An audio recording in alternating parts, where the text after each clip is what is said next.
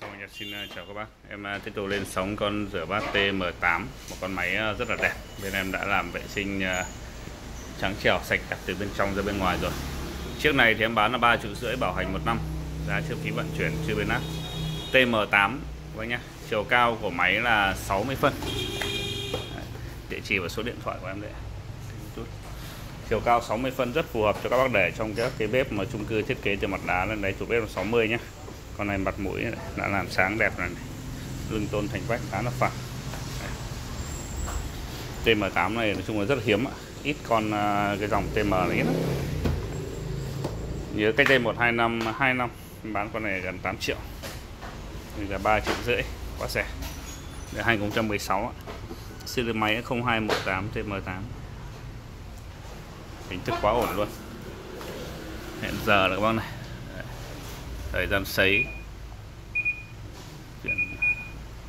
Rửa tiêu chuẩn nước nóng 80 độ sấy riêng biệt.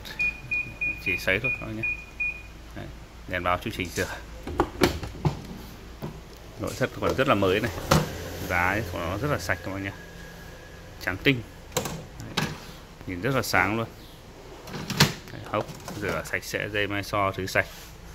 Đấy, một con máy không có gì để chê cả đời cao. Đấy, các cái này nhựa nó còn rất là mới con này. Này nhựa rất mới luôn nhé đời cao giá thì hợp lý. 3 triệu rưỡi thôi ạ.